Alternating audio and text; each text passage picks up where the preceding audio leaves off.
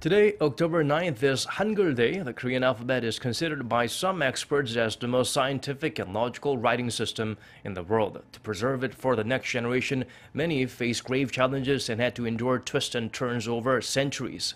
Oh Jung-hee provides a closer look into the history and significance of Hangul.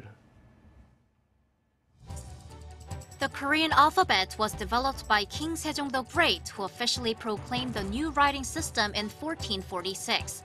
It was originally called Hunmin Jeongeum, a name referring to a way for the people to write that reflects the proper pronunciation of the Korean language.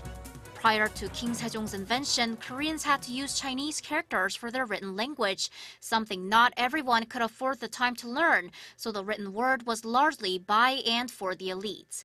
The use of Chinese characters also meant that the Korean language wasn't always expressed accurately.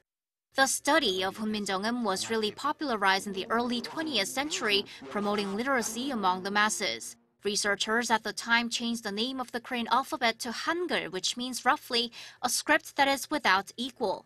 Under Japanese colonial rule, Koreans began publishing more things in Hangul like newspapers, pamphlets, and poetry.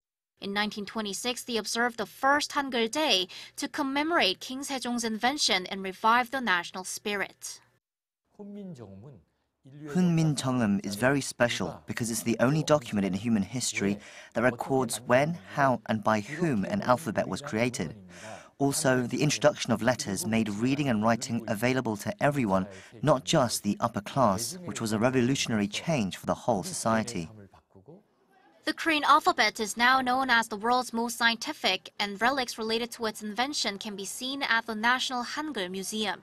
The most precious one is the Hunmin Jeongeum Haerye, the document published in 1446 explaining how Hangul was made.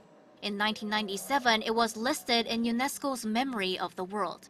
The museum also has the first song written in Hangul in 1447 and one of the first Hangul-only newspapers from the early 1900s.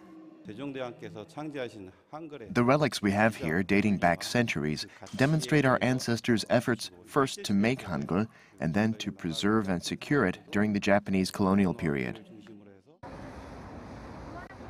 Without words and letters to write down language, knowledge can't be exchanged or preserved, which will limit development in all areas of life and society. This is why Korea has designated Hangul Day as a national holiday to celebrate and appreciate the Korean alphabet and to hope for further development of our language. Oh Jung-hee, Arirang News.